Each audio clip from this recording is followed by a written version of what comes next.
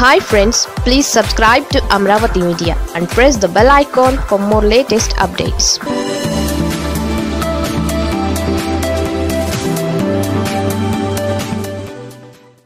ఈ టీడీపీ సిట్టింగ్లకు చుక్కెదురు.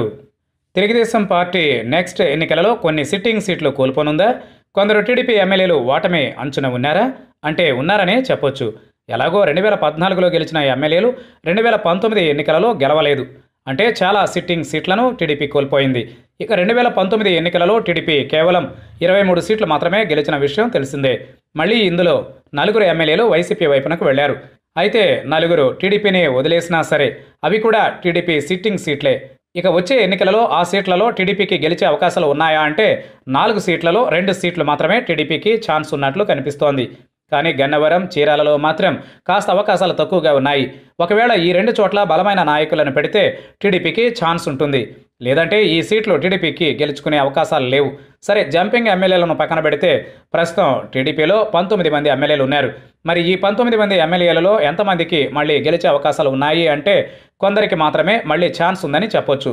కొందరికి మాత్రం గెలిచే అవకాశాలు చాలా తక్కువ ఉన్నాయి.